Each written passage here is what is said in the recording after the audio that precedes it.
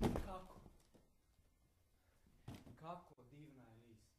Tek smo pristali zaručiti se, a vi ste već sjetni. Ja sam sav radostan, a vi, vi žali Bože uzdišete. Kažete mi, jel vi žalite zato što ste me usrećali? Kajete li se za tu obvezu na koju vas je navela moja ljubav? Ne, Valer. Pa ne mogu se kajati ni za što što za vas čini.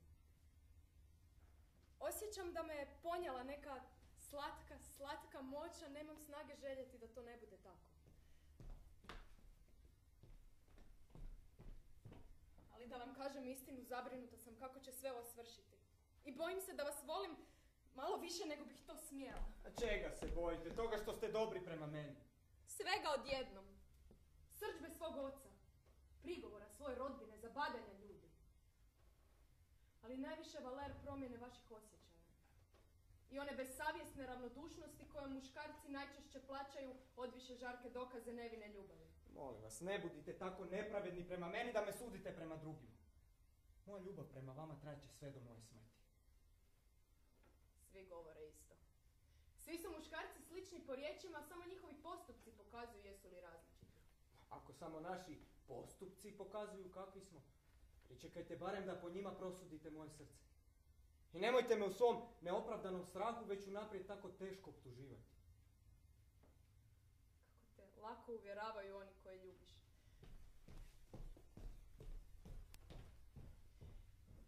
Da, Valer, vjerujem da me vaše srce nije sposobno prevariti i mislim da me volite istinskom ljubavom. Neću to ni najmanje sumnjati.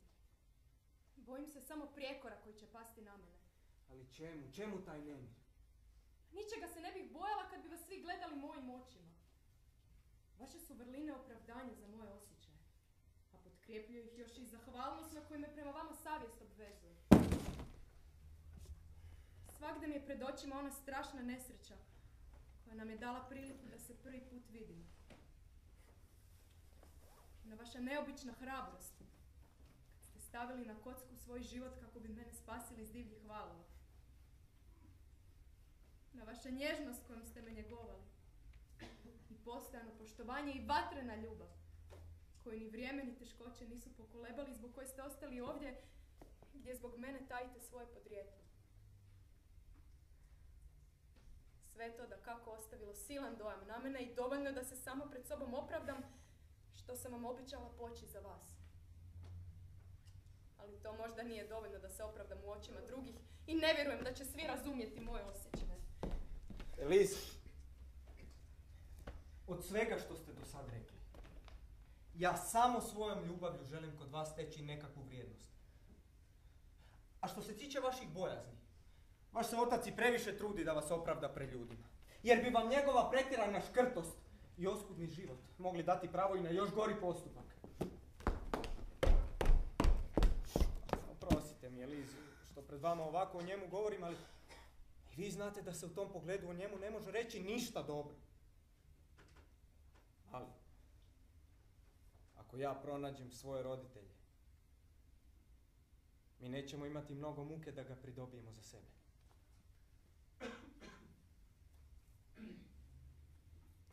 Valer, ne mičite se odavde.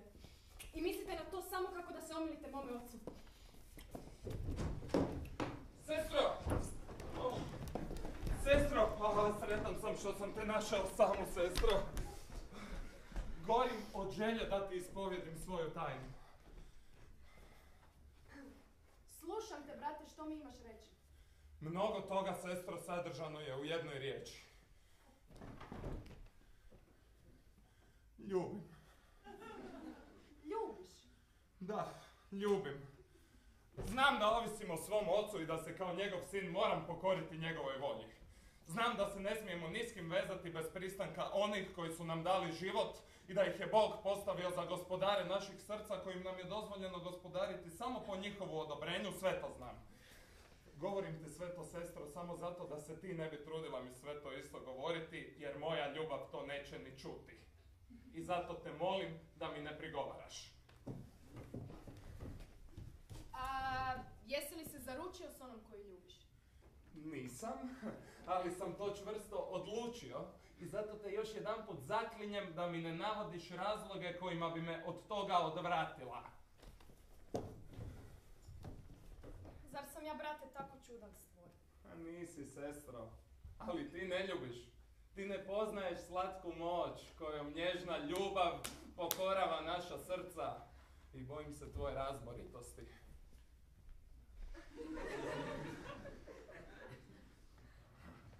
A nema nikoga kome barem jedanput u životu nije nje uzmanjkalo. A, Najprije o tvom poslu. Reci, tko je ona koju ljubiš? Jedna mlada djevojka koja odnedavno stanuje u ovom kraju i koja mi se čini stvorenom da u svakom tko je vidi probudi ljubav. Priroda nije stvorila ništa dražesnije od nje, sestro, i ja sam se zanio čim sam je vidio. Zove se Marijan. Živi pod nadzorom svoje starice majke, gotovo neprestano bolesne, i ti ne možeš ni zamisliti s kakvim osjećajima ljubavi ta mlada djevojka barata s tom staricom. Pa prema svemu što govoriš već mogu zamisliti kakva je. I dovoljno mi je to što ju ti ljubiš. Ali od povjerljivih ljudi saznao sam da im ne ide najbolje. Jedva sastavljaju kraj s krajem iako razumno žive. I ti ne možeš ni zamisliti koliko sam ojađen što zbog škrtosti našeg oca toj djevojci ne mogu dati nikakav dokaz svoje ljubavi. Vrlo dobro razumijem koliko te to mora boljeti. I više nego bi to itko mogao zamisliti. Jer što je gore od te stroge štednje koje smo podvrgnuti i od te neshvatljive oskudice u kojoj smo prisiljeni životariti?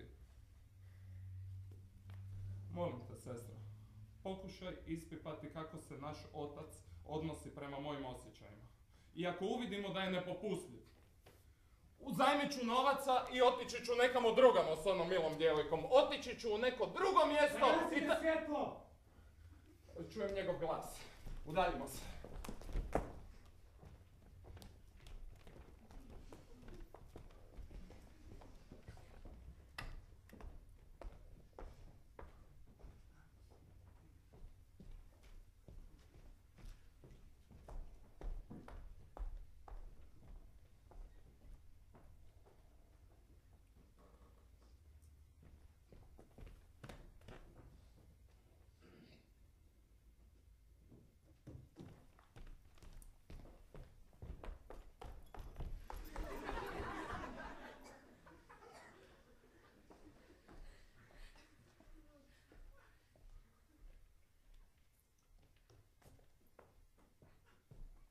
A! Ajde van. Nosi se iz moje kuće, ti huljo nad huljama, ti arci lupežu. Zašto me tjerate? Još bi se i objašnjavao lopove, jel? Nosi se s mjesta jer ću te smlaviti. Ali vaš mi je sin zapovjedio da ga ovdje Pa čeka. dobro, odi van i čekaj ga na ulici. Eto. Želim da u mojoj kući stojiš kao zaboden kolac i da njuškaš na sve strane da vidiš ima li se što za ukrasti. Ne znam dobro ga kako bi vam itko išta mogao ukrasti kad sve držite pod ključem i stražarite nad tim i dan i noć. Ajde van kad ti kažem. Dobro, idem. A čekaj! A da mi nisi što odnio? A što bi vam odnio? Dođi ovdje. Pokaži svoje ruke. Ruke. E. Evo.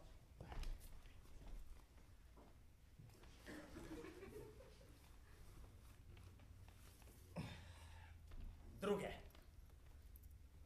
Druge. Da.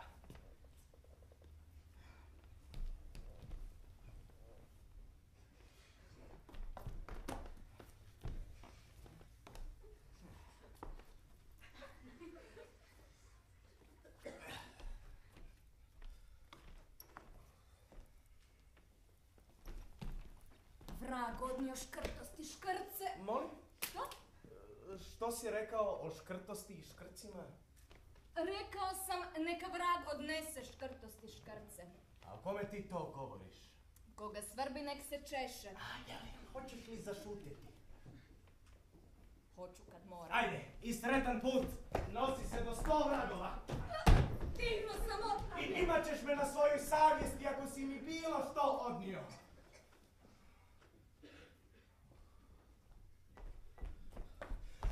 Ne znam jesam li dobro učinio što sam u svom vrtu zakopao 10.000 škuda koji su mi jučer vratili. Mislim držati u kući 10.000 škuda u zlatu. O, to je svota. Što je? Ništa, oče. Dugo ste ovdje? Upravo smo došli. Čuli ste? Što oče? Dobro, vi znate što.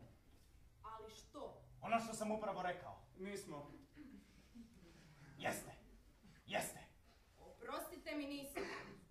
A, vidim da ste ipak čuli nekoliko riječi. E, Razgovarao sam sam sa sobom kako je dan danas teško doći do novaca.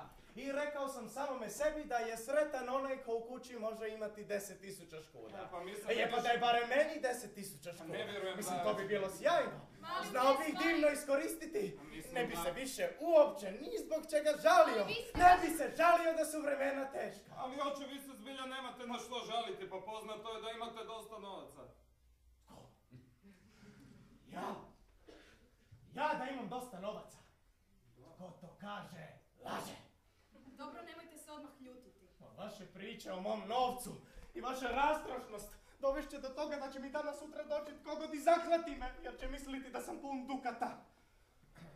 A po čemu sam ja to rastrošan? Po čemu si ti to rastrošan?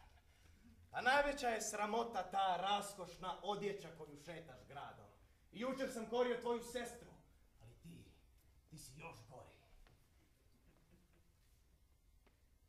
Bog, Bog će te za to kazniti. Novac koji trošiš da se obučeš od glave do pete je mogao bi ti svake godine nositi lijepe kamate. Odakle tebi uopće novac s kojim plaćaš sva ta skupocjena odjela? Odakle mi novac? Da. Pa kartam se i kako sam sretne ruke, tako sav taj novac trošim na sebe. Pa dobro, kad si već sretne ruke mogao bi to iskoristiti, tako da dobiveni novac uložiš uz pristojne kamate kako bi danas sutra imao nešto. A o drugome da i ne govorim. Eto, ja bih baš volio znati čemu služe sve te vrpce kojima si se načičkao od glave do pete.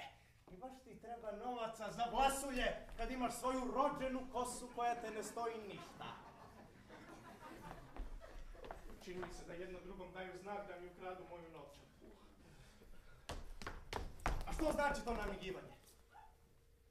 Moj brat i ja ne možemo odlučiti tko će prvi govoriti, a oboje vam imamo nešto za reći. Pa i ja vama imam nešto za reći. Oče, mi s vama želimo govoriti o ženitbi. O, pa ja vama imam kazati nekoliko riječi o ženitbi. A oče, kćeri. Plaši li te riječ ili stvar? Pa sama ženitba, onakva vi shvaćate, oboje nas plaši. Bojimo se hoće li naši osjećaji biti u skladu s vašim odlukama. Ne brinite se, znam ja što vama treba, a ni jedno ni drugo nećete imati razloga se žaliti kada vam kažem što namjeravam učiniti. Sjednite, djeco. Pa da počnemo.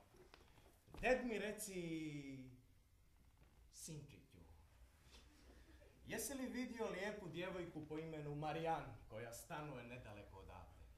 Jesam, oče. A ti? Čula sam za nju. Kako ti se sine sviđa ta djevojka? O, vrlo je dražesno. A njezina fizionomija? Čestita i lijepa. A njezino vladanje? E, gotovo besprijekorno. A bi li takva djevojka zavrijedila da čovjek e, misli na nju? da, oče.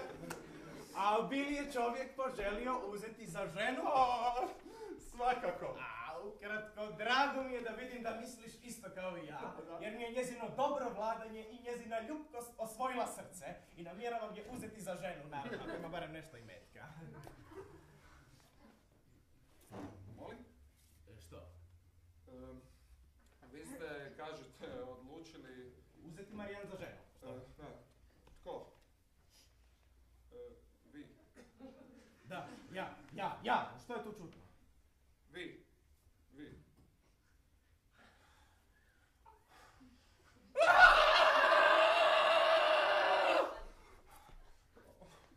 Oprostite, hoću, ulovila me vrtoglavica, moram reći. Nije to ništa. Idi brzo u kuhinju i popi veliku čašu hladne vode. A eto ti gana. To su ti ti kržljavi gospodičići neotporni poput pilića. To sam dakle kćeri odlučio za sebe. E, što se tiče tvoga brata, e, za njega sam odredio jednu udovicu o kojoj smo jutro govorili, ali zato tebe, tebe dajem gospodinu Anselmu.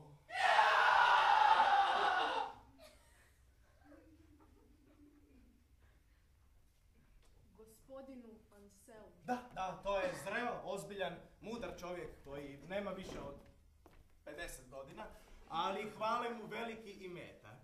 S vašim dopuštenjem oče ja se uopće neću udati. E, S vašim dopuštenjem, kćeri, draga moja, milo moje, ja želim da se udate. Oprostite oče. Prostite, kćeri. Ja sam najponiznija službenica gospodinu Anselmu. Ali s vašim dopuštenjem ja neću poći za njega. Ja sam vaš najponizniji sluga, ali s vašim dopuštenjem poći ćete za njega. I to još večeras. Još večeras. Još večeras. Od toga neće biti ništa oče. Bit će, kćeri. Neće. Bit će. Neće, kažem vam. Bit će, kažem ti. Nikada me nećete na to natjerati. E, hoću, natjerat ću te na to. Radije ću se ubiti nego udati za takva muža. Nećeš se ubiti, nego ćeš se lijepo udati za njega. Vidi, vidi kako si ti drska. Pa ko je ikada vidio ovako odgovarati svojemu ocu? Tko je ikada vidio da otac ovako ude svoju kćer? Ma to je muž kojemu se ne može ništa zamjeriti. A i kladim se da bi svako odobrio moj izbor. A ja se kladim da ga nitko razuma neće odobriti. Eno Valera, hoćeš da njega izaberemo za suca u ovom sporu? Pristajem. I pokorit ćeš se njegovoj presudi? Da, učinit ću što on bude rekao. A dogovorili smo se dakle. A, a, Valera, izabrali smo te da nam kažeš tko ima pravo. Moja kći ili ja? A vi, gospodine, bez ikakve sumnje. Dobro, znaš li uopće o čemu raspravljamo? Ne znam, ali nije moguće da vi ne biste imali krivo, jer ste vi sama mudrost i puka pravica. Želim je udati za čovjeka koji je i bogat i mudar. A ovo derište mi veli u lice kako njoj ne pada na pamet da ga uzme za muža. Eto, što kažeš ti na to? Što kažem ja na to? Da, da, da. A što? Hm, Kažem, Što kažeš, evo recimo. kažem da... Da u biti mislim kao i vi, jer nije moguće da vi ne biste imali pravo na to. Ali, ali, ali nema ni ona sasvim krivo. Kako? Pa gospodin Anselm je izvrsna partija. Plemiće, staložen, ozbiljan, mudar, zgodan i bogat. A iz prvog braka mu nije ostalo ni jedno dijete. A zar bi se uopće mogla bolje namiriti? To je istina. Ali ona bi vam mogla odgovoriti da je to došlo prenaglo i da bi joj ipak trebalo neko vrijeme da vidi hoće li mu se moći prilagoditi. Jer ali takvu priliku treba s mjesta ščepati objema rukama. Pa on ima za mene prednost koju kod drugih neću naići. Obvezuje se da će je uzeti bez miraza. Bez miraza.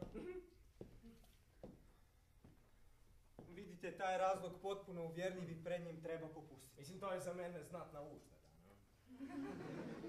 Da kako, tomu nema pogovora.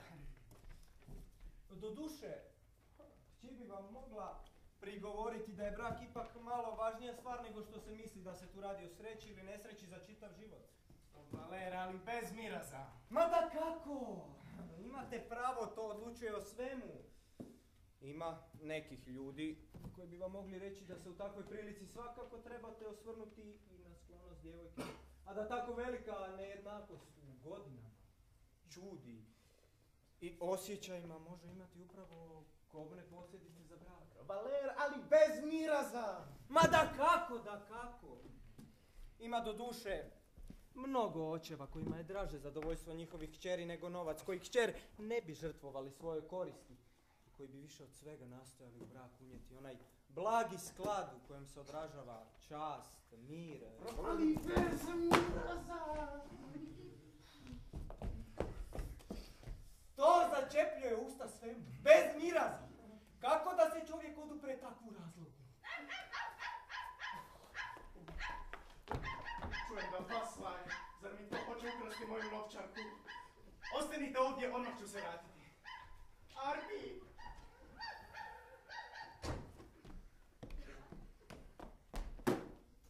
Što vam pada na pamet, Valer, da tako s njime govorite?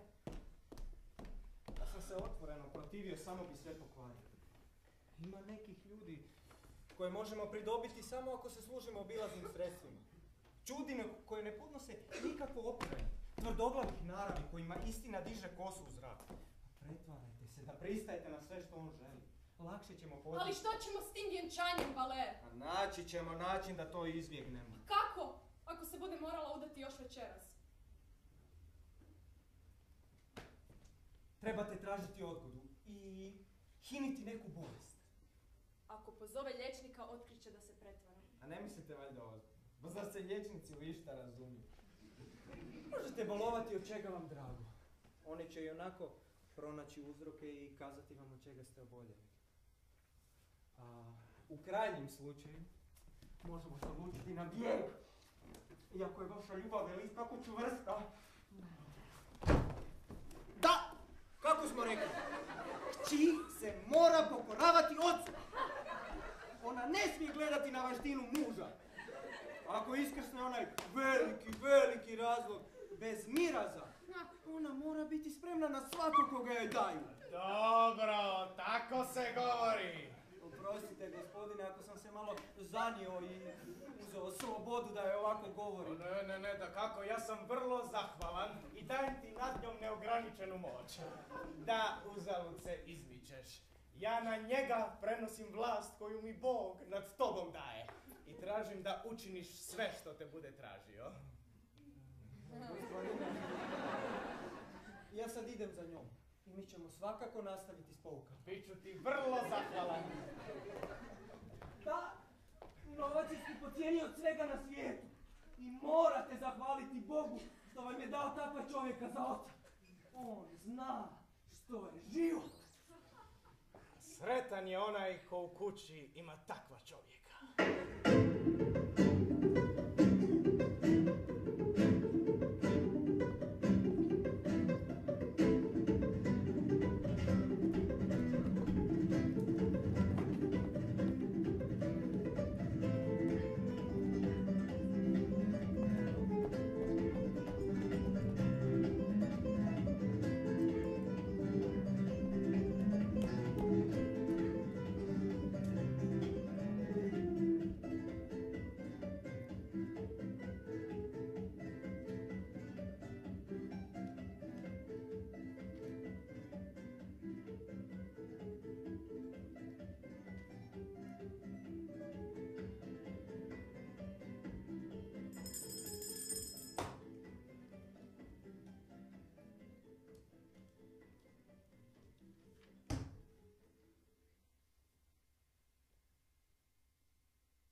Kako naš posao?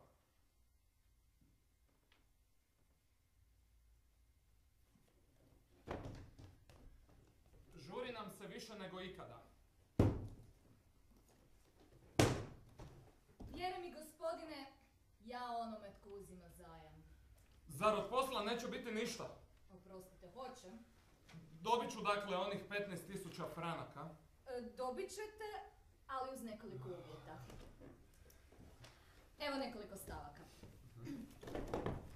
Ako zajmodavac bude imao čvrsto pokriće, te ako je zajmoprimac punoljetan, iz porodice koja ima imutak znatan, siguran i neopterećen dugovima, sastavit će se pravo valjana i točna obveznica pred najpoštenijim bilježnikom koji se bude mogao naći, ako je ga će u tu svrhu izabrati zajmodavac. E, tomu nema prigovora. Da ne bi ni najmanje opteretio svoju savjest, zajmodavac se obvezuje posuditi novac uz samo 5,5% kamata. Uz 5,5% kamata. Pa sunca mi to je pošteno, evo ne mogu, ne mogu se potužiti. Ali, budući da gore spomenuti zajmodavac sam ne posjeduje svotu o kojoj je riječ, te je prisiljen, kako bi učinio uslugu zajmoprimcu, sam posuditi novac od treće strane uz 20%, treba će gore spomenuti zajmoprimac uz ostale platiti još i te kamate. Što? Dobra ga, što? Pa to je, to je žid. To je lihvar. Pa to je više od 25% kamata. Istina je, tako sam ja odgovorio, treba o tome dobro razmisliti. Ne, ne. Nemam, nemam što razmišljati. Potreban mi je novac i moram pristati na sve. Tako sam ja odgovorio. Ima li još što? Samo još jedna malenkost. Od traženih 15.000 franaka. Zajmodavac se obvezuje posuditi u gotovu novcu 12.000. A za preostalu svotu treba će gore spomenuti zajmoprimac uzeti neke nošene odjevne predmete, staro rublje i razne dragocjenosti, popis kojih je priložen, a za koje je gore spomenuti zajmodavac po savjesti ustanovio najumjereniju moguću cijenu. Što to znači? Poslušajte popis.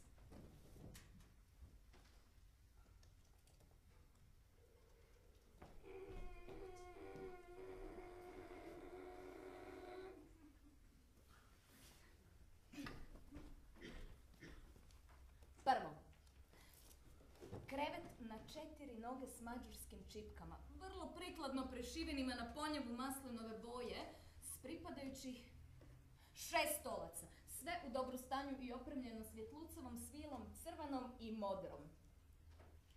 Dalje, krevet s nebom. Od dobre omalske vunene tkanice u boji suhih šljiva sa svilenom kitom i resama. što će to meni? Strpite se. Dalje. Jedna zidna tapeta. S ljubavlju, gombovom i masejnom. Dalje. Velik stol od orahovine na 12 kolona koji se razvlači na paf paf obje strane. A opremljen je sa šest stolica bez naslona. Što ću ja s tim jadamom? čekajte, čekajte, čekajte. Dalje.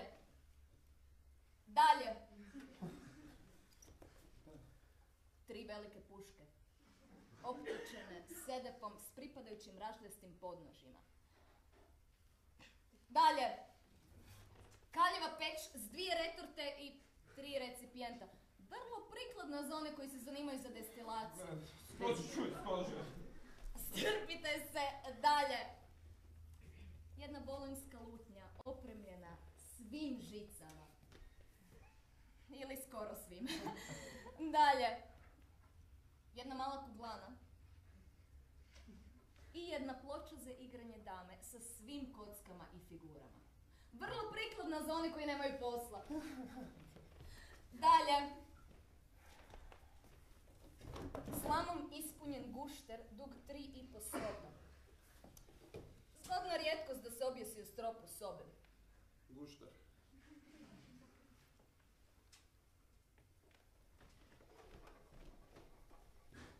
Svi ti gore navedeni predmeti vrijede više od 4500 franaka. A, A zajmodavac ih je ipak iz osobite obzirnosti snizio na cijenu od samo 3000. kuga izjela iz zajmodavca i njegovu osobitu obzirnost. Je li iko ikada čuo za ovakvu lihu? Evo, evo u što mlade ljude tjera škrtost njihovih otaca. Evo, i onda se ovi još čude što njihovi sinovi žele da oni pomeru. Daćeš mi malo taj popis da ga pregledam.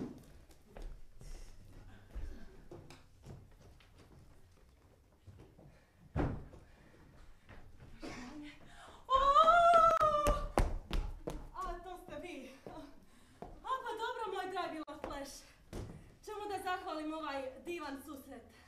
Ti si to, Frozin. E, što radiš ovdje? A, isto što i svuda. Posredujem u različitim poslovima. Činim ljudima usluge. Koristim se onim sposobnostima što ih možda imam. E, imaš kakav posao s gospodarom ove kuće? A, da. Zapravo, obavljam za njega jedan posalac i nadam se da će me dobro nagraditi. Ko? On. Vjeruj mi, ako od njega što izmuzeš pravi si majstor. Upozoravam te da je ovdje novac prokleto skup. Ima nekih uslugica koje znaju divno da okupiti čovjeka. Izbi to sebi iz glave. Ne poznaješ ti još gospodina Arpagona. Pohvala, poštovanja, dobronamjernosti i prijateljstva na jediku koliko ti srce želi, ali novcima ni traga.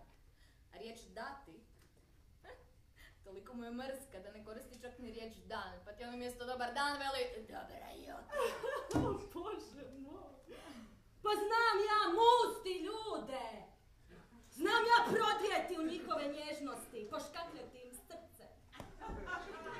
I napipati mjesto gdje su najosjetljiviji. Ovdje ti to ništa ne vrijedi, Zagasite svjetlo. ali evo ga, uklonit ću se.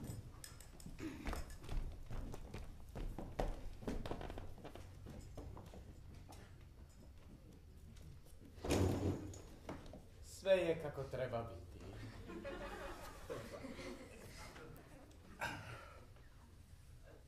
O, Frozin! Bože moj, pa kako se vi sjajno držite? Pa vi zaista udušite zdravljem. Tko, ja? Pa vaš ten! Pa nije nikad izgledao ovako zdravo, ovako svježe. Stvarno? Gospodine,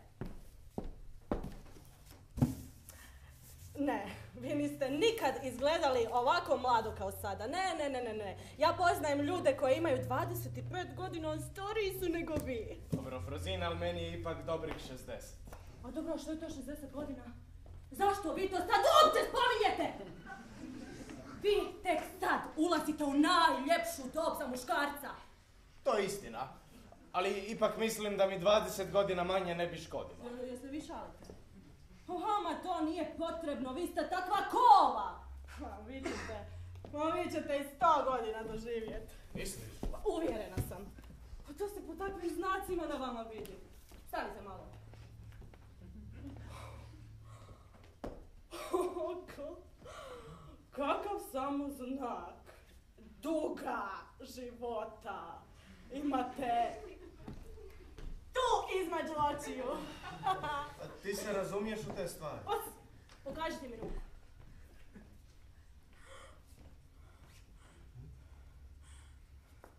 Kolika vam je to crta života? Pa kolika?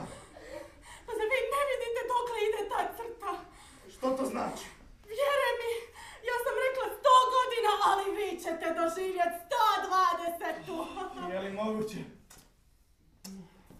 Vas će morati ubiti. Kažem vam, pokopat ćete vi i svoju djecu i djecu svoje djece. O, pa tim i bolje. Dobro, kako naš posao, pa zašto to sad uopće pitate, ha?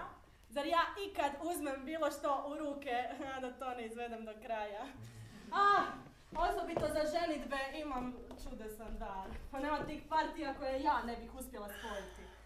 Pa, kad bih se zainatila, mislim da bih e, turskog sultana oženila mletačkom republikom.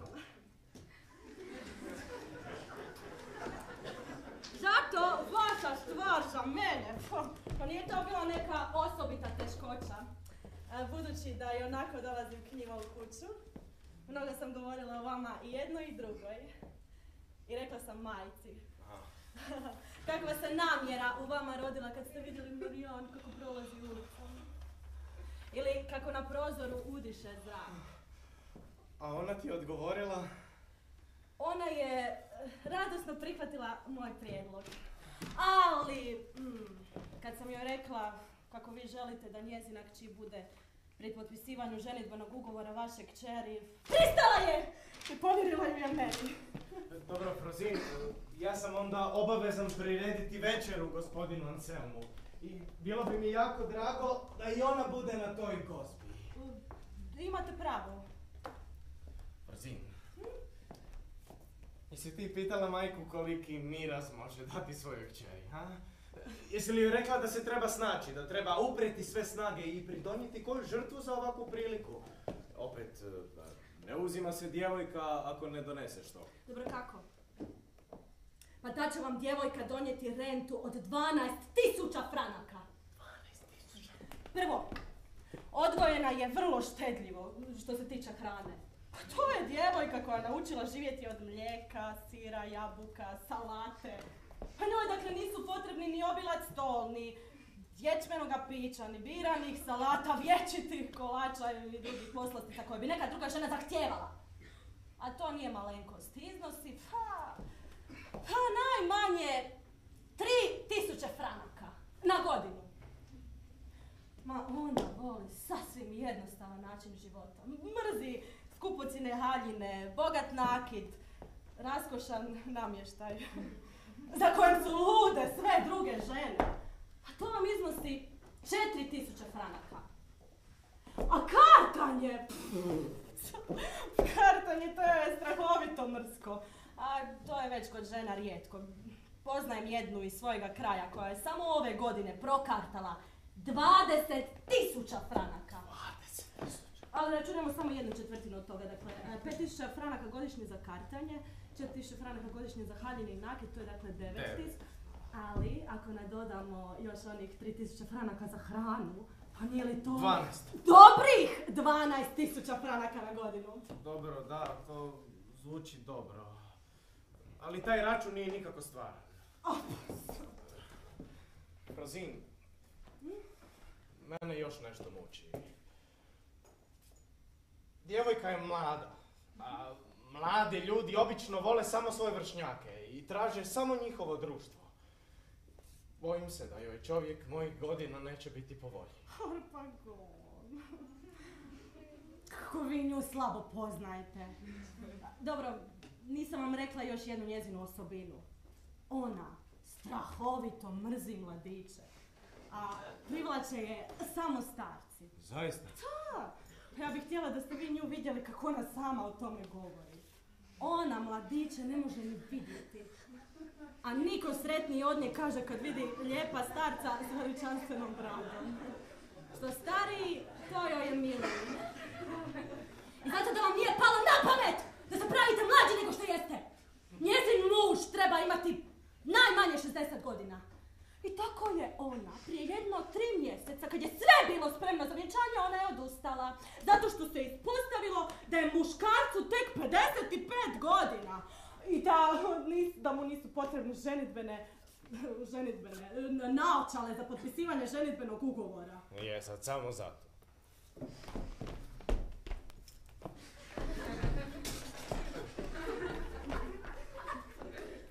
U njezinoj sobi je nekoliko slika i bakroreza. A što vi mislite da oni prikazuju? Što? Adonise, Parise, Apolone? Ne. Nego lijepe portrete Saturna, kralja Prijama, starca Nestora, i dobrog oca Anhiza, sinu na ramenima. Pa to je divno. Da sam ja djevojka, ne bih ni ja volio mladiće. Dobro, ded mi reci, Marijan me još nije vidjela. Nije me onako on pa sam opazila. Nije. Ali mnogo sam mu govorila o vama. Potanko sam vas opisala, a nisam zaboravila spomenuti vašu vrijednost.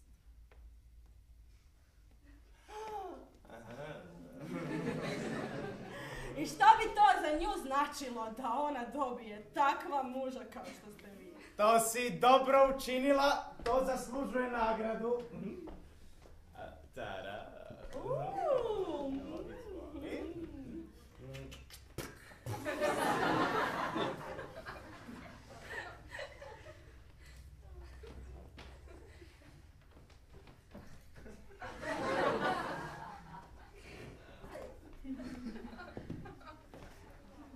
Živjeli.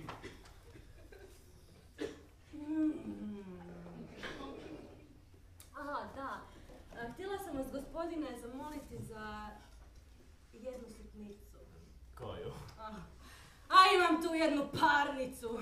I zapravo skoro sam je izgubila, zato što nemam novaca. A, znate, gospodine, vi biste mi vrlo lako mogli omogućiti da dobijem tu parnicu, gospodine, kad biste bili toliko dobri i kad biste mi pozajmili nešto novaca. Kako ćete se vi njoj svidjeti? Kako će izvanredno na nju djelovati kad vi na sebe stavite svoj starinski nabrani obratnik? A, to si mi dobro rekla, hvala ti. A, a, a, gospodine, ozbiljno, ta parnica, ona je za mene neobično važna. Gospodine, ja sam propala ako ja nju izgubim. I najmanja sitnica bi mi svakako... Ma meni je žao! Meni je žao što vi nju niste vidjeli kako je ona ushićeno slušala kad sam ja nju govorila o vama. Ma radost joj je izbijala iz očiju kad sam joj nabrajala sve vaše osobine, gospodine. Ja sam nju napokon dovela do toga da ona gine za časom kad će taj brak doista biti sklopljen. To si dobro učinila i priznajem ti da si me obvezala do smrti. A, a gospodine, ja ću vama biti zahvalna do groba. Ako mi...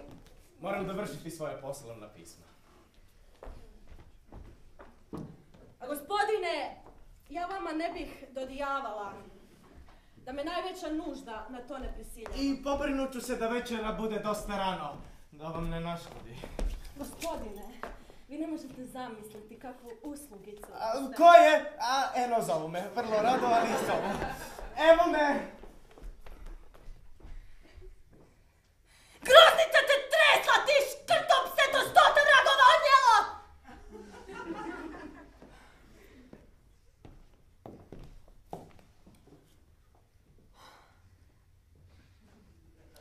Odolio tvrdica svim mojim navalama. Ali ne predajem se ja tako lako. Uvijek postoji druga strana, a tamo ću sigurno izvući nagradu.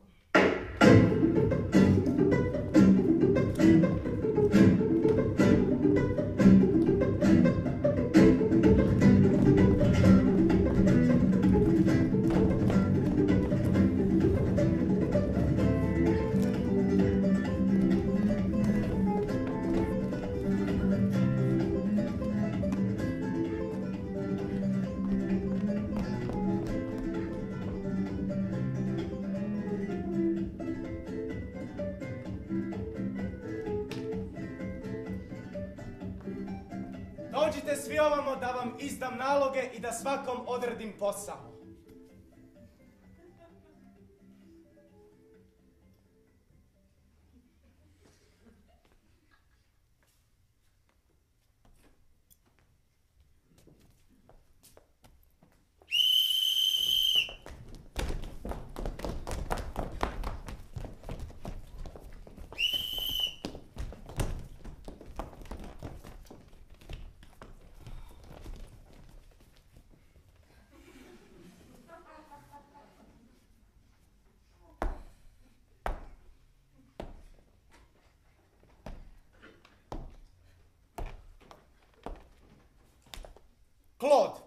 Istupi. A, dobro, vi već imate u ruci svoje oružje. Dobro. Vaša će briga biti da svuda sve očistite. Ali dobro mi pazite kada brišete namještaj da ne trljate odviše jako, da ga ne biste istrošili. Osim toga, vama predajem nadzor nad bocama za vrijeme večere. Ako koja nestane ili ako se što razbije, vi ćete mi odgovarati i odbit ću vam od plaće. Možete ići.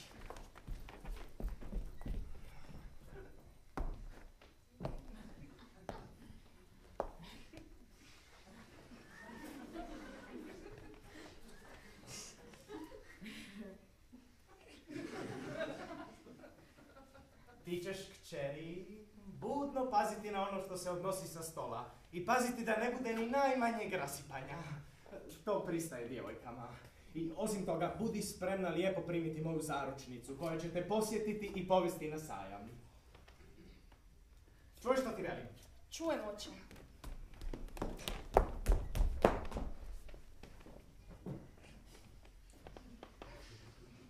Tvoja će Brandavoan i tvoja Lamerliš dužnost biti da perete čaše i da točite piće tokom večere. Ali, samo kad su ljudi žedni. I molim vas, nemojte zaboraviti nikad donijeti mnogo vode. Ajde, odstupite! Gospodine, a hoćemo mi skinut naše radne pregače? Hoćete, ali tek kad vidite da gosti stižu. I dobro pazite da ne zaflekate svoje odijelo. A vama je, gospodine, poznato da moj prsluk ima s prednje strane jednu pradavnu mrlju od ulja iz lampe. A gospodine, ja vam sa stražnje strane imam ruku pa mi se vidi stražnje. Oj, začepi! Pa okreći stražnicu, evo uvijek spretno prema zidu. A ljudima pokazuj samo prednjicu.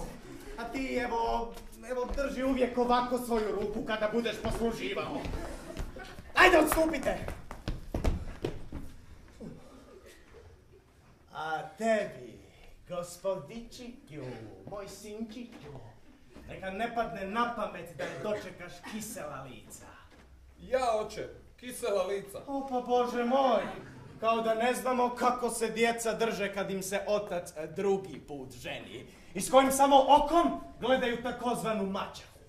Da vam iskreno kažem, oče, ne bi mi bilo drago kad bi mi Marijan postala mačka. Evo, lagao bih kad bi vam to rekao. Ali što se tiče e, najljepšeg dočeka i ljubaznog lica, u tome ću vas točno poslušati. Valer, ti mi pomozi nešto.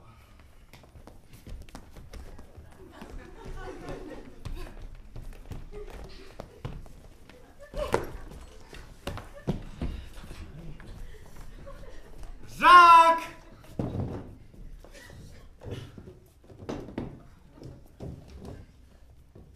No, Žak, ajde priđi, tebe smo ostavili za kraj.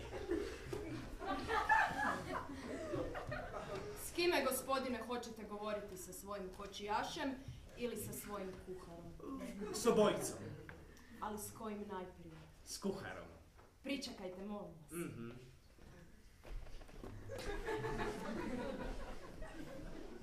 Koje su to ceremonije, moj valer?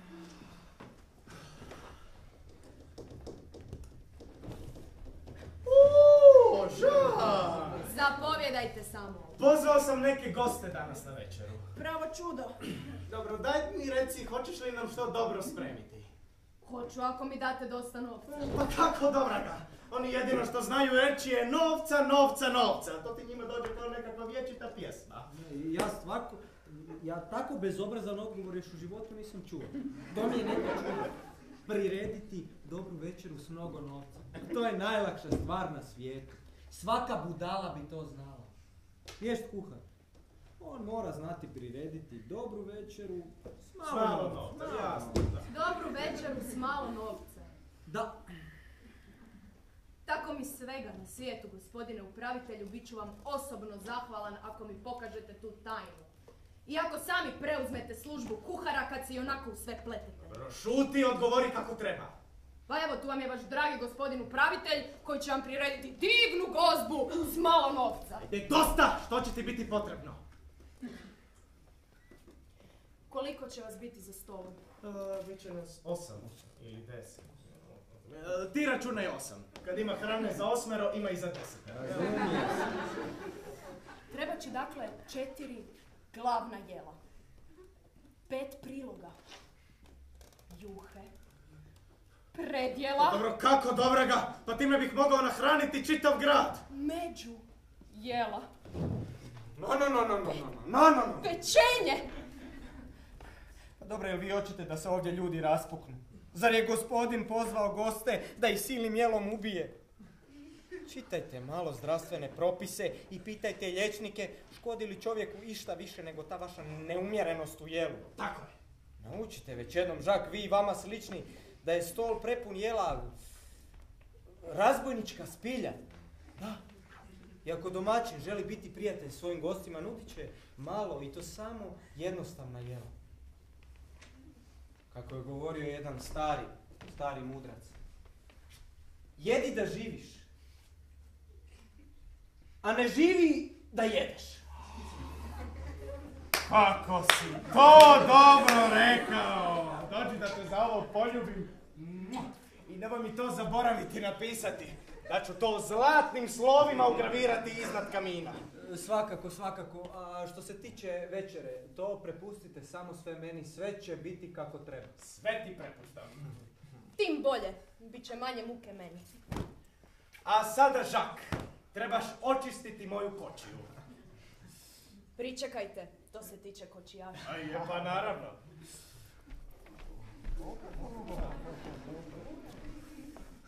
Čuj, kako si ono rekao, ne, ne jedi da Ne, ne, ne, ne, ne. Jedi da živiš, a ne živi da jedeš. A, odlično, odlično.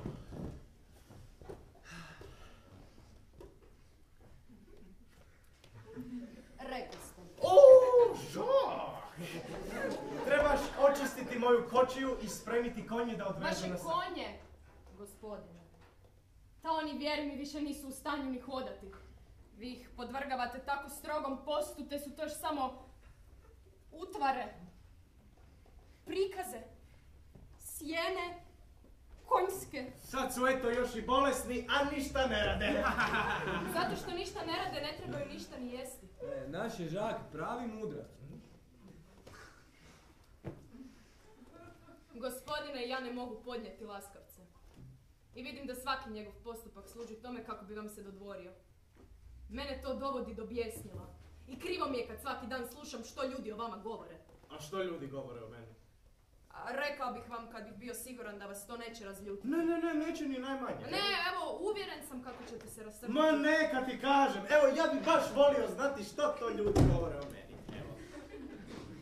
Baš zahtjevate, gospodine, reći ću vam da vam se svuda rugaju. I da su najsretniji kad im dođete na rešeto i kada mogu brusiti jezike pričicama o vašoj poznatoj škrtosti.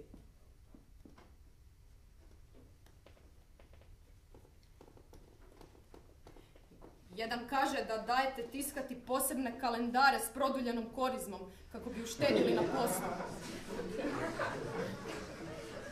Drugi govori kako sa slugama uvijek izazovete svađu, upravo u oči darivanja o novoj godini. Treći govori kako ste jednom tužili sudu susjedovu mačku zato što vam je pojela ostatak ovčeg buta. Netko opet pripovjeda kako su vas zatekli u tami, kako kradete zob svojim konjima. Te vas je kočijaš koji je služio prije mene dobro izmlatio batinom, a vi ste o tome šutjeli kao zaliveni. Kad baš hoćete da vam kažem, svuda vam se rugaju i smiju. I nigdje vas ne nazivaju drugče nego škrtac, lakomac, tvrdica i lihvar.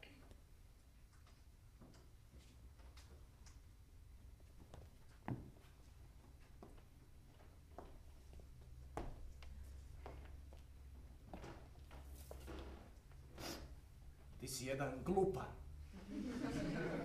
Lopov. Nitko. I bezobraznik.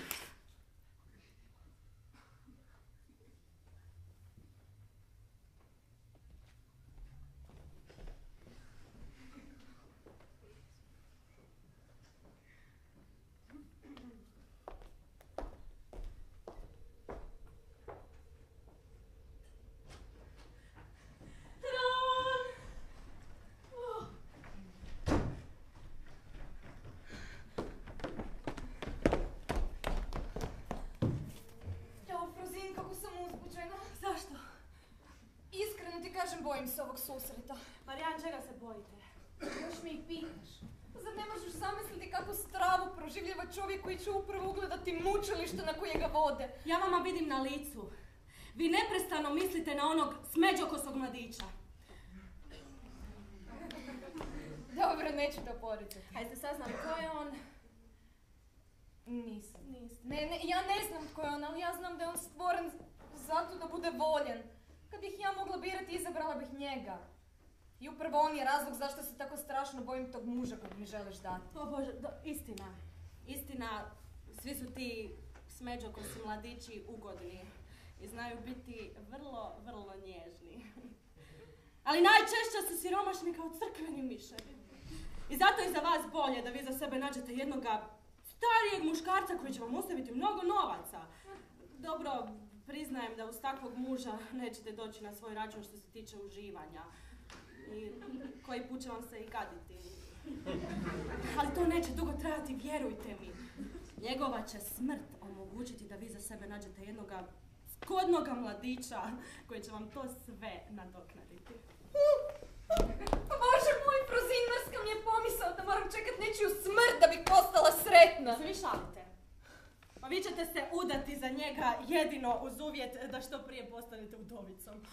Pa to bi zapravo trebala biti jedna točka ženitbenog ugovora. Pa bio bi zaista drza kad ne bi umro za tri mjeseca. Evo ga.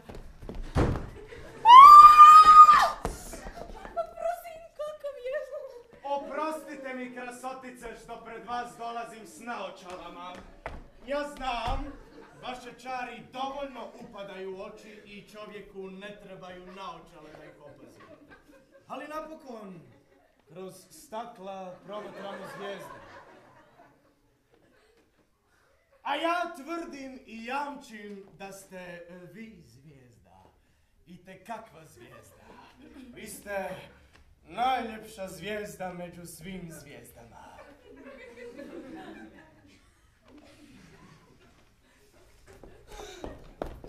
Ona čini mi se ne pokazuje nikakve znakove radosti što me vidi. Pa nije se još snašla, pa znate te današnje djevojke. Boje se pokazati što im je u srcu. Imaš pravo. A, evo i moje kćeri, došla vas je pozdraviti.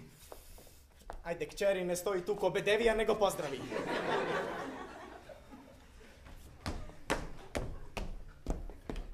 Već sam vas odavno bila dužna posjetiti, gospođice. Gospođice, učinili ste ono što je bila moja dužnost. Trebala sam ja preteći vas. Ona je već velika kao što vidite, ali korov brzo raste. A evo i moj sinčić vam se došao pokloniti. Vidim da se čudite što već imam tako veliku djecu, ali ne brinite, uskoro ću se riješiti i jednoga i drugoga. Poštovana gospođice, da vam pravo velim ovome se slučaju nikada ne bih nadao. Možete zamisliti kako sam bio iznenađen kada mi otac malo prije priopćio svoje namjere. Ja vam isto to mogu reći. Ovaj nepredviđeni susret iznenadio je mene koliko i vas. Ne bih se tome ni u snu nadala. Istina je da moj otac nije mogao ljepše izabrati i ja sam neobično ushićen što vas imam prilike vidjeti ovdje, ali vam ipak neću tvrditi da bi mi bilo drago kad biste postali mojom mačehom. I još ću vam uz dopuštenje svoga oca reći da do ovoga vjenčanja nikada ne bi došlo kada bih ja mogao odlučivati. O, krasno joj je priznanje učinio. Meni bi bilo žao da vam nanesem bol. I dajem vam riječ da nikada ne bih pristala na vjenčanje koje vama nije po volji da me viša sila na to ne prisiljava. Dobro mu je rekla, jel? Dobio je pravi odgovor na svoje glupe riječi. Uvjeravam vas da me njegove riječi nisu ni najmanje uvrijedile. Naprotiv, meni je drago što sam saznala njegove prave osjećaje. Vi ste odviše dobri što mu opraštate ovakve gluposti. Jer ja vas uvjeravam da će on s vremenom postati pametniji i da će promijeniti svoje osjećaje. E, Ne, oče, ja neću promijeniti svoje osjećaje i molim poštovanu gospođicu da mi to vjeruje. Dobro, dokle ćeš ti tjerati svoje? Hoćeš li napokon promijeniti ploču? Dobro, kada već želite da promijenim ploču, dopustite, poštovana gospođice, da vam priznam kako nigdje na svijetu nisam vidio ništa ljepše od vas. Kako nema ljepše stvari nego da se vama divim i da je zvati se vašim mužem, blaženstvo i ponos. Pomalo, sine! Pomalo, sine. Ako ja to u vaše ime govorim, poštovana gospođice. Pa imam i ja jezik da kažem što treba. Ne trebam tumača. Oprostite mi, draga gospođice, što se nisam sjetio pogostiti vas. Ali ja sam zato na to mislio, oče. I dao sam ovamo u vaše ime dopremiti nekoliko hladanja kineskih naranči, slatkih limuna, četeruna i ušećerenog voća. Valer! Ne poludio. Mislite li, oče, da to neće biti dovoljno? Pa, poštovana gospođica će biti tako dobra i oprostit će nam to.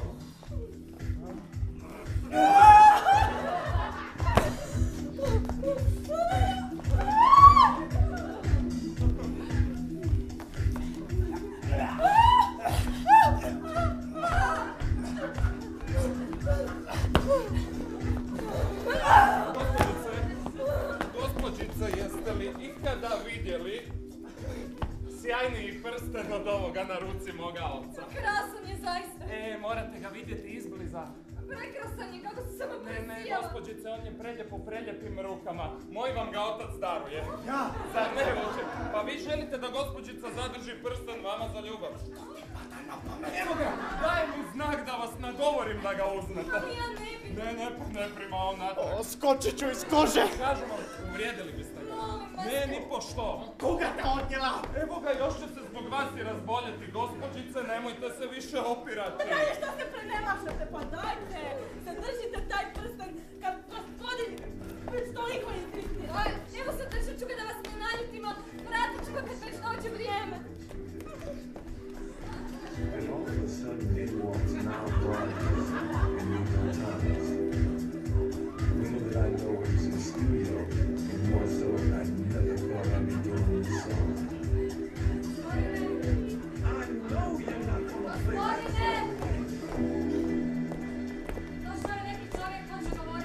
Recite mu da nemam vremena, neka dođe kasnije. Ali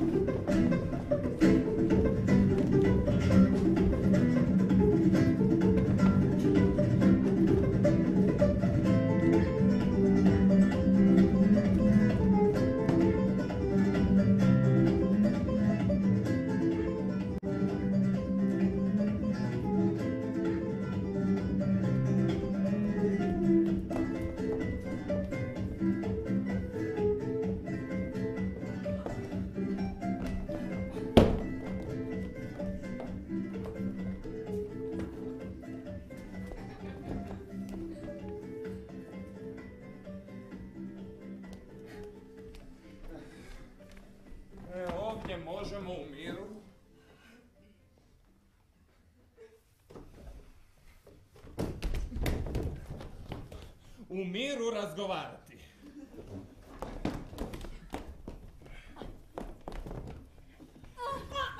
Au! Marijan. Au.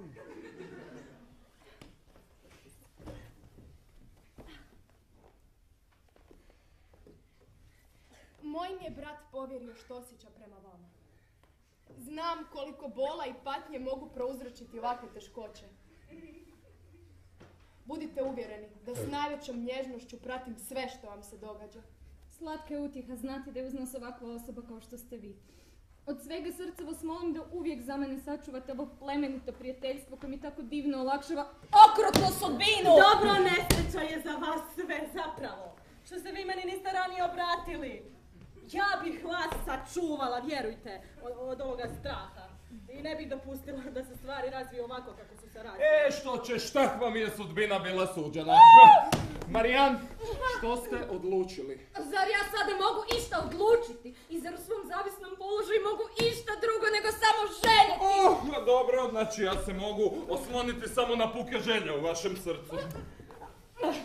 Pođite vi i govorite s mojom majkom. Upotrijebite sva sredstva da ju pridobijete. A ja ću se onda i sama potruditi da joj priznam što osjećam prema vama! Frozin, draga Frozin, biste li nam htjeli pomoći? Ma kako me to možete uopće pitati?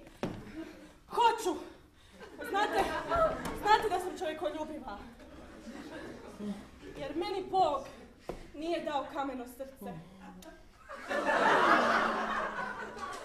I ja sam vas da spremna raznježiti se i učiniti uslugu. A pogotovo kad vidim da se dvoje ljudi ovako lijepo i pošteno vole. A što bismo mi ovdje mogli učiniti? Pa daj pa razmisli malo. Pronađi neki izlaz, pa izmisli nešto da si izjalovi sve što si do sada učinila. To nije tako jednostavno. Hm?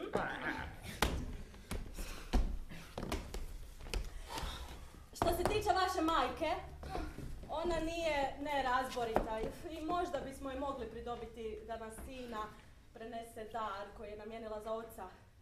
Ali najgore je po mom mišljenju to što je vaš otac vaš otac. Da, slažem se. Ako on vidi da vi njega odbijate, razljutit ćete ga i neće vam dati e, priznanje za vjenčanje. Zato bi trebalo udesiti nešto da se on sam povuče. Trebalo bi napraviti da se vi njemu prestanete sviđati. E, da, da, da, da, imaš pravo. Pa znam i ja da imam pravo. Ali Draški će teško biti naći put i način da se to ostvari.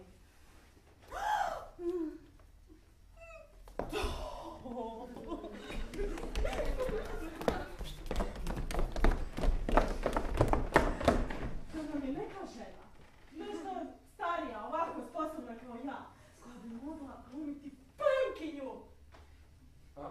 Pa da je nama neko grofice ili markize, da je na primjer iz Bretanje. Pa tad bi ja mogla uvjeriti vašega oca da ta žena ima osim kuća. Sto tisuća škuda u gotovu novcu. Da, da, da. I da je e, toliko silno zaljubljena u njega, da se toliko silno želi udati za njega, da bi mu ženitbenim ugovorom ostavila čitav svoj Imutak! Da! Pa to je izvrsno smišljeno. Sjetila sam se, sjetila sam se jedne svoje prijateljice. Ona je upravo ono što nama treba. Frozin, bit ću ti do kraja života zahvalan ako ti to pođe za rukom. Da, A mi, ja- lijepa Marijan, idemo porazgovarati s vašom majkom. Učinit ćemo sve što budemo mogli. Oho! Moj sin ljubi ruku svojoj budućoj mači. Njegova mu se buduća mačeha ne opire baš ja. Ima li u tome neka tajna? Evo mog oca.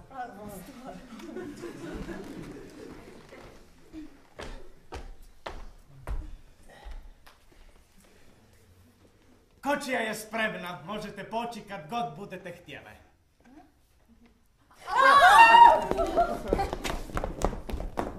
A ti, Sinčić, ostani malo ovdje. Dakle, Bez obzira na to što će ti biti mačeha. Kako ti se sine sviđa ta djevojka? E, kako mi se sviđa? Kako ti se sviđa njezino vladanje, stas, ljepota, pamet? E, pa tako, tako. Ali ipak, E, Svidjela mi se puno manje nego bi to itko očekivao. Njezino vladanje je kao u svake namiguše. Njezin, njezin, njezin stas poprilično nezgrapan.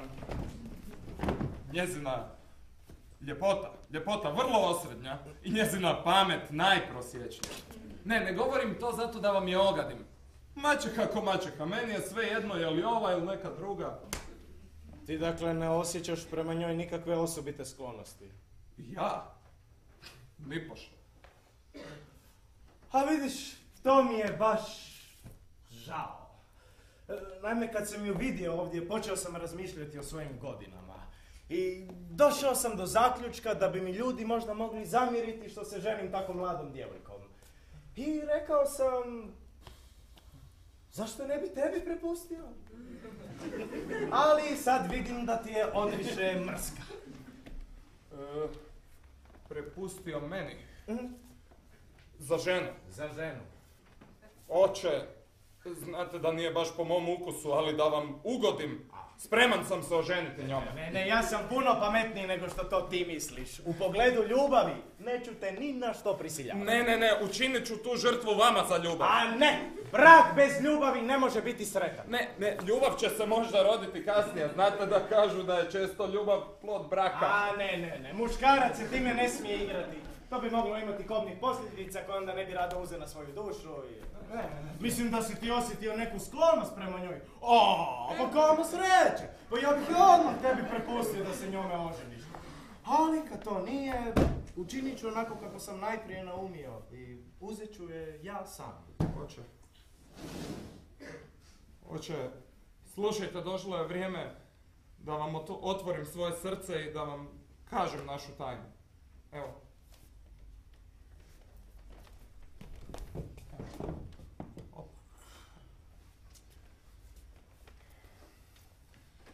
Istina je da sam zaljubljen u nju od kad sam je onomad vidio u šetnji.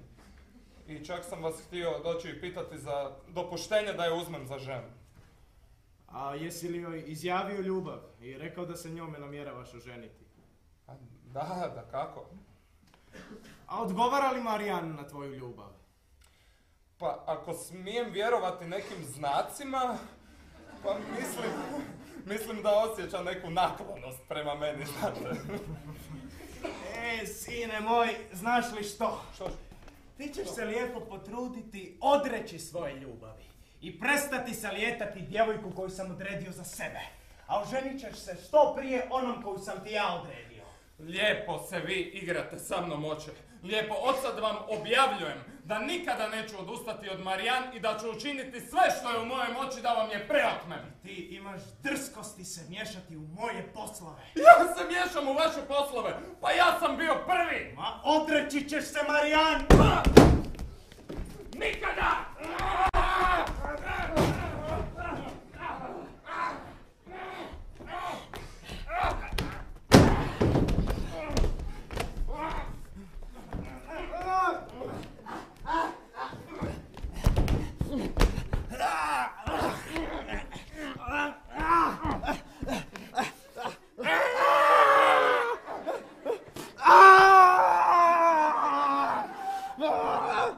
Batinu!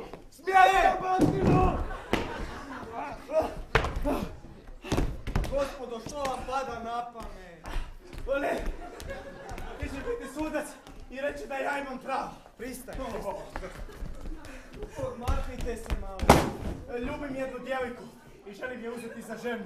A ovo ju se terište također osuđuje ljubiti i želi se njome oženiti i protiv moje zabrane. Prepustite samo sve meni, a vi ostanite ovdje. Dobro, dobro. Kada te je on već izabrao za suca, ja se tome neću protiviti. Uostalom, nije ni bitno tko je sudac. I ja prepuštam tebi, Valer, da prosudiš ko ima pravo. Činite mi veliku čast. Pa, Ljubim jednu djevojku koja mi nježno uzvraća osjećaj i prihvaća moju ljubav, a moj se otac najednom sjetio zaprositi je i tako poremetiti našu vezu. A jasno je da nema pravo. Zar ga nije stid? Zar ga nije stid u tim godinama misliti na ženitbu i da se zaljubljuje umjesto da to ostavi mladim ljudima? Ma što mladim ljudima?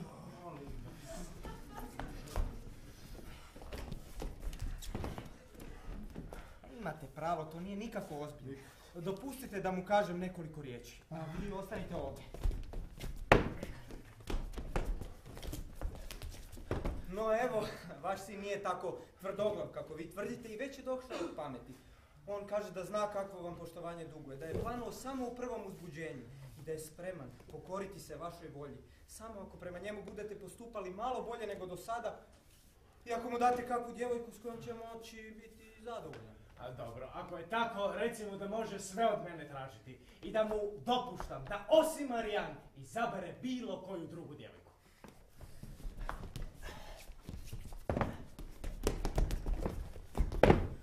No evo, vaš otac nije tako nerazuman kako vi to kažete. Kaže da ga je raspalila samo vaša naglost. Da se ljuti samo zbog vašeg vladanja. I da je spreman dopustiti vam sve što želite samo ako ga uljudno zamolite.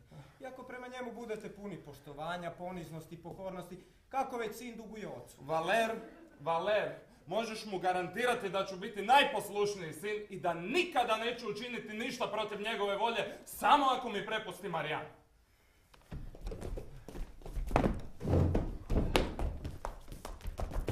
Gotovo je. Vaš sin pristaje na sve što ste rekli. A ne može biti bolje.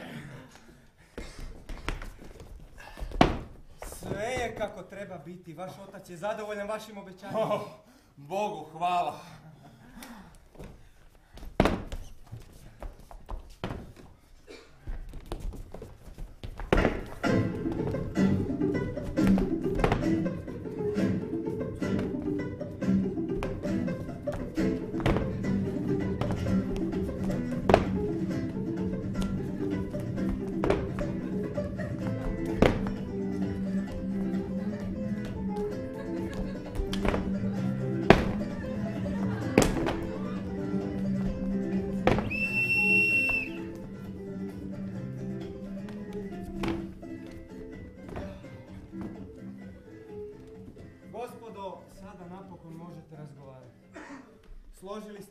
Sve se razjasnilo.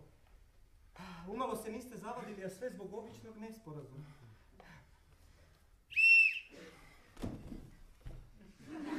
Valer, bit ću ti do kraja života zahvalan. A nema na čemu, gospodine. A Valer, to si dobro učinio, a to zaslužuje nagradu.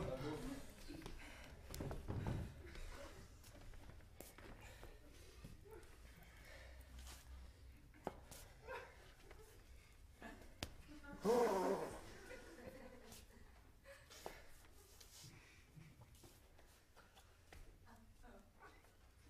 što stojiš ko bedevija? Hm? Ajde, već ću te se ja sjetiti, ne brini. Sluga pokorni.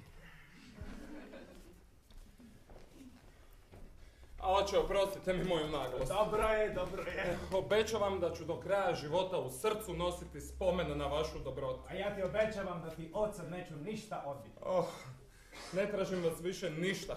Sve ste mi dali kada ste mi dali Marijan. Tko ti je rekao da ti daje Marijan? Pa vi, oče. Ja? Da, razumije se, da.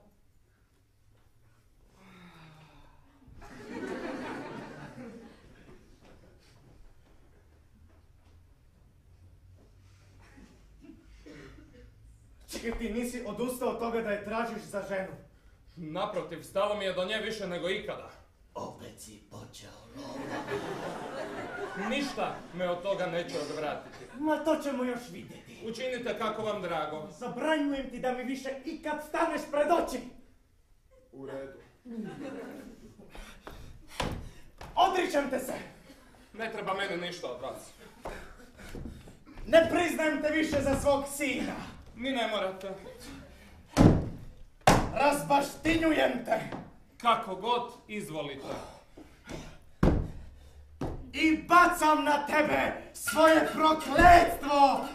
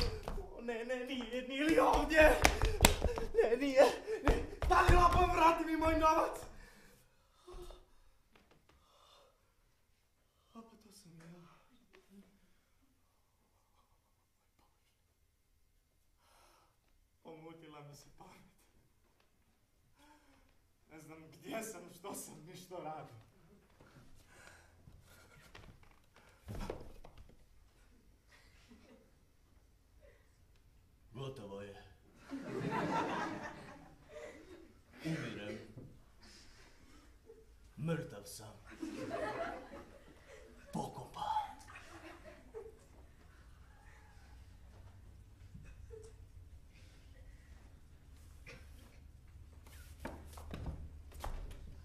Straža! O, idem pozvati stražu i predati nam učila cijelu kuću. Služavku, sluge, sina, kćer, a i samoga sebe. O čemu vi tamo govorite? O onome kome je okrao? Lijepo izgledate, to mora da košta. A vi tamo? Vi znate gdje je moj lopov?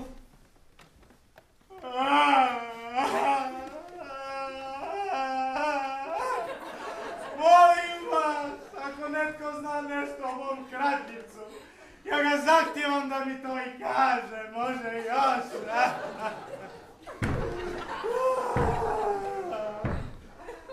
A da se nije sakrio među vas.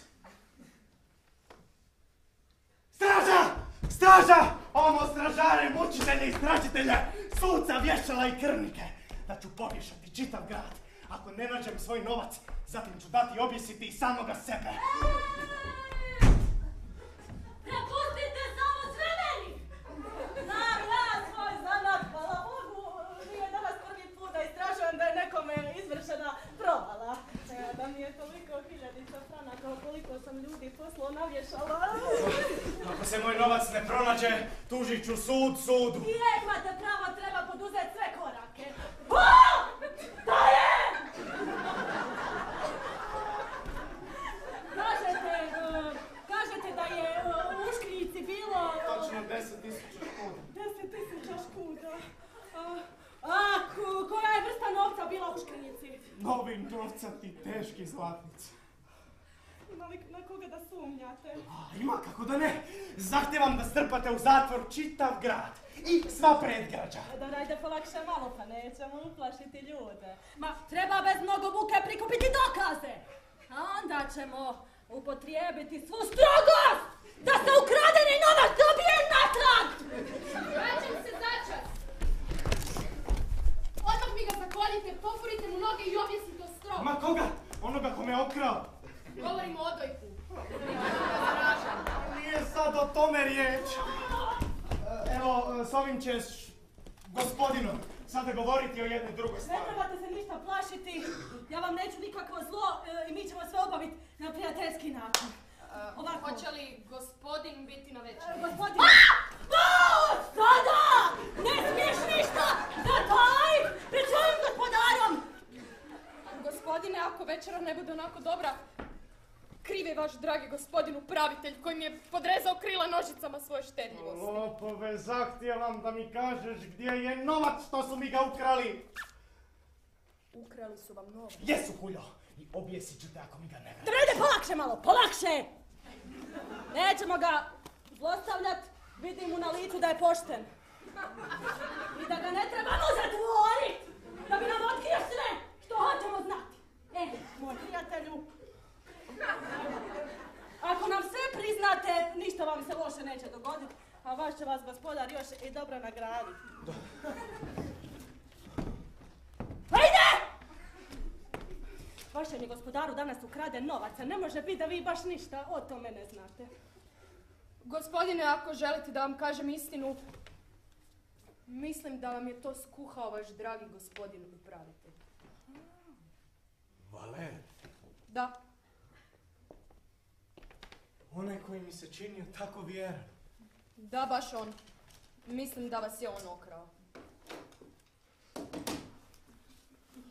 A po čemu misliš da je on? Po čemu? Da. Pa, mislim da je on zbog toga što tako misli. Ali potrebno je da nam kažete imate li kakvih dokaza za to. Evo, jesi li ga vidio da se mota oko mjesta gdje sam sakrio svoj novac? Da, zaista. A gdje vam je bio? U vrtu. Točno. Točno, vidio sam ga u vrtu. A u čemu je bio novac? U škrinjici. Tako je, vidio sam ga s nekakvom škrinjicom. Da, evo, a kakva je bila ta škrinjica? Evo, ja ću odmah znat da li je to bila ona moja. Kakva je bila? Da. Ha. Bila je kao neka škrinjica. Da li joj malo opišite e, da vidimo je li to ona prava? Škri... Škrinjica je bila velika. Ne. Moja je bila mala. Mala, tako je, mala. Ako tako uzmete, kažem velika zbog njezina sadržaja. A, koje je boje? Boje. E, A, boje. A, boje, no neke boje. Ne možete li mi malo pomoći? Kako? Zar nije crvena? A, ne. Moja je siva. Da kako? Crveno siva. To sam htio reći. A gospodine, nema sumnje, to je ta, zapičitaj. Iza koga danas čovjek ne može više staviti ruku u vatru. Ja pa poslije svega mislim da bi mogao i sam sebe okrasti.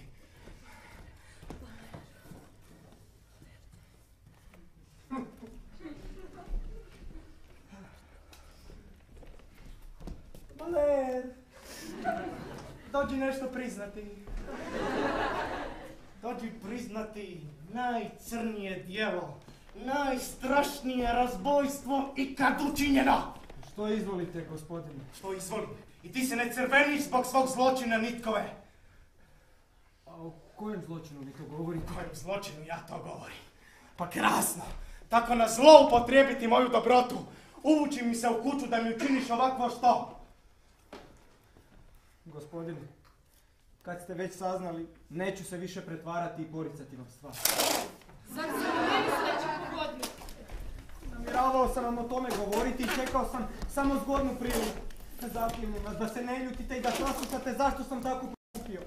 Pa kakve ćeš mi ti to krasne razloge ispričati, podli lopove? Istina je da se prema vama nisam ponio ispravno. Ali napokon, moj grijeh nije neoprostiv. Kako? Nije neoprostiv.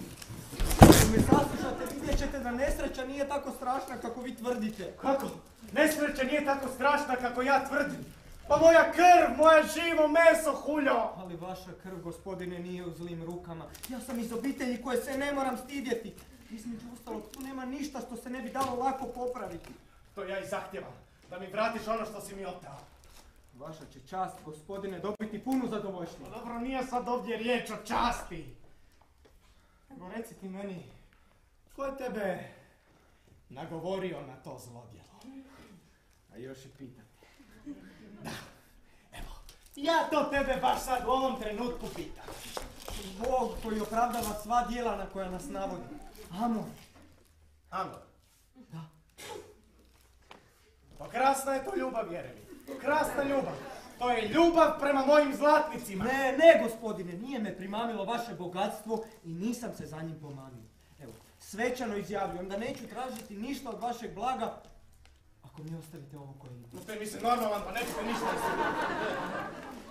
Gospodine, vaša kći u svemu ovom nije ništa kriva. Ja sam odgovoran za sve. Pa bilo bi najbolje da je moja kći kriva za ovaj zločin. Priznaj, kamo si je odvukao? Kamo? Nikamo je nisam odvukao, još i ovdje. Pa, znači nije mi se micala iz kuće. Nije, gospodine. I ti ju nisi dirao. Ja da je dirnem, bila izgaram za njom čistom i smjernom ljubavi, toliko smjerno da sam imao najvećih muka svladati njezinu stidljivost kako bih postigao ono što je tražila moja ljubav. Čiju stidljivost? Vaša kćeri tek je jučer pristala da potpišemo obećanje da ćemo se uzeti. Moja ti je kći potpisala obećanje da će poći za tebe. Da, ja sam sa svoje strane isto to potpisao. O moj Bože, nesreća sa nesrećom. Gospodin, gospodin, zapišite u zapisnik da ga optužujem kao lopova i kao zavodnika. E pa takve nazive nisam zaslužio. A kad saznate tko sam? Opatka kćeri nedostojna oca kakav sam ja. Usuđuješ se da te zavede obična ljubav prema podlacu. Četiri debela zida jamčit će mi za tvoje vladanje. A valjana vješala da će mi zadovoljštinu za tvoju drskost. Vaš je, neće biti sudac o toj stvari. Saslušat će me barem prije nego što me osude. Ma ja sam krivo rekao vješala. Ti ćeš biti živ pribijen na kotač. Oče, ne budite tako nečovječni, zapinjem vas. I ne tirajte stvar do krajnjih granica očinske vlasti. Ne dajte da vas zanese prvi bijes i lako razmislite što ćete učiniti. Trudite se da bolje upoznate onoga koji vas je, kako vam se čini, uvrijedio. On je sasvim drugačiji nego ga vaše oči vide. I neće vam biti tako čudno što sam se predala njemu u ruke kad saznate da me već odavno ne biste imali da njega nije bilo. Da, oče, on me spasio iz onih divnih valova. I njemu dugujete život svoje kćeri koja ovdje Pa stoji... što onda? Bilo bi bolje da te pustio da se utopiš, nego da mi učinio ovakvo što. Oče, zaklinjem vas, tako vam vaše očinske Ne, ne, ne- ne želim ništa čuti. Sud mora reći svoju riječ.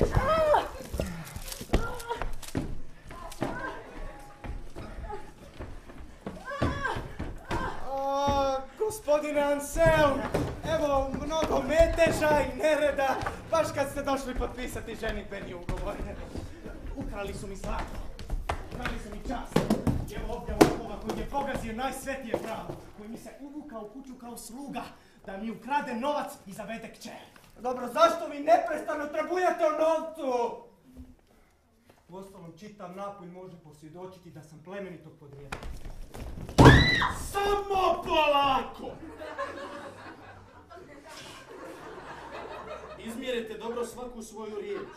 Izlažete se većoj opasnosti nego što mislite. Jer govorite pred čovjekom koji poznaje čitav napulj i koji lako može prozreti vašu priču. Ako poznajete čitav napolj, značite tko je bio Don Tomad Albursi. Kako da znam, malo ga je tko bolje poznavao od mene. E pa dobro, mene nije briga ni za Don Tomu, ni za Don Molim Peru. vas, ne prekidajte ga, vidjet ćemo što hoće reći. Hoću reći to da je on moj otac. On. Da. Ali molim vas, nemojte se šaliti, izmislite neku priču koja će vam bolje uspjeti. Ne, ja ne tvrdim ništa što se ne bi dalo lako dokazati. Kako?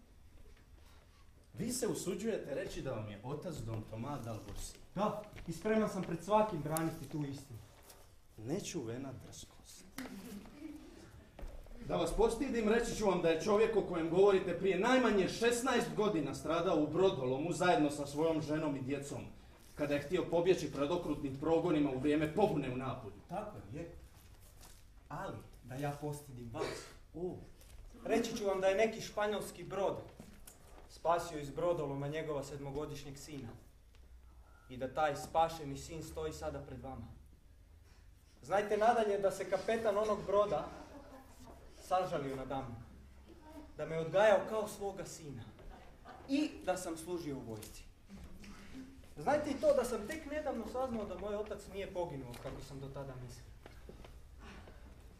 A kad sam odlučio da ga potražim, ugledao sam nekim bogodanim slučajem dražesnu Elizu, koja me odmah očarala svojom ljepotom. Tako da sam se zbog svoje velike ljubavi i zbog škrtosti njezina oca odlučio ući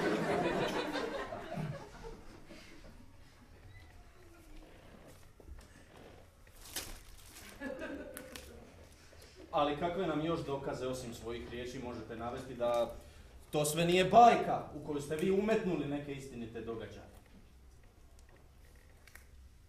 Kapetan španjolskog broda vam može to posvjedočiti. Zatim, rubinima optočeni pečatnjak koji je pripadao mome ocu. I ovaj medaljon koji mi je majka stavila oko vrata.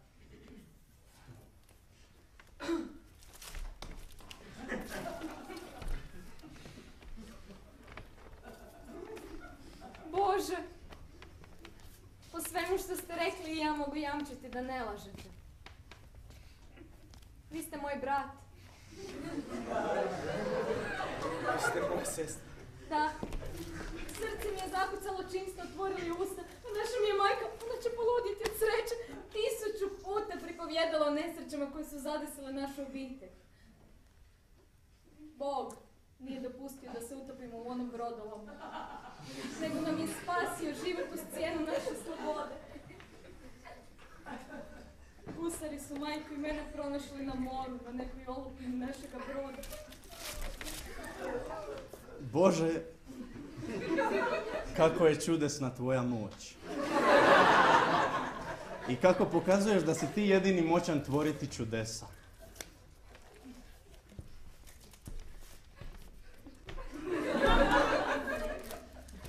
Zagrlite me, djeco moja, i ujedinite se u svojoj sreći sami. Vi ste naš otac. Vas je naša majka toliko oplakivala. Da, kćeri moja, da, sine moj, ja sam Don Tomada al Bursi. Čovjek koga je providnost spasila iz valova sa svim novcem što ga je sa sobom nosio i koji je smatrao više od 16 godina da ste svi pomrli.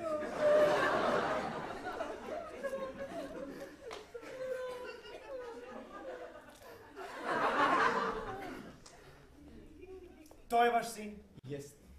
E pa onda ću vas tužiti da mi vratite 10.000 škuda koje mi je ovaj ukrao. Tko? On ukrao vam! On glavom i bradom. Ma tko vam je to rekao? Ko? Žak! I evo iskaza.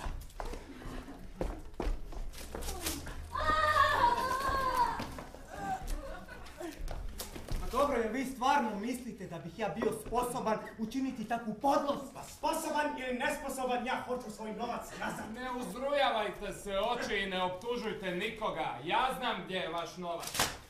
Došao sam vam reći da ćete ga dobiti natrag ako mi prepustite da uzmem Marijan za ženu. Gdje je? Nemajte nikakve brige, novac je na sigurno mi sada sve ovisi samo o meni. Na vama je. Možete izabrati. Ili ćete mi prepustiti Marijan ili ćete izgubiti svoju škrinjicu. Dobro, Nije li što god iz nje izvađeno? Ama baš ništa. Nemojte da vam kažem što vas ide, nego pristanite kao i ja na dvostruko vjenčanje. Dobro, da bi mogao odlučiti, prvo moram vidjeti svoju škrinjicu. Vidjet ćete je živo i zdravo.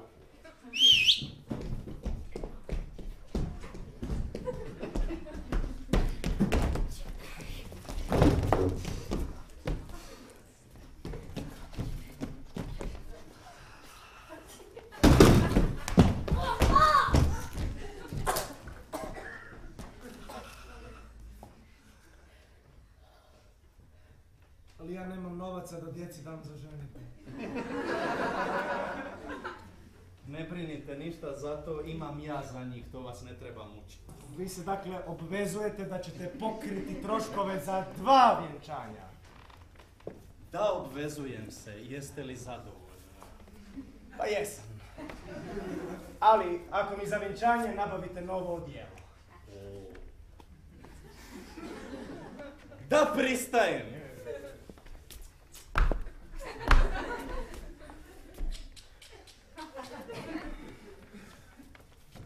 A sada, djeco moja, pođimo uživati u radosti koju nam je donio ovaj sretan dan. Valer, molim te.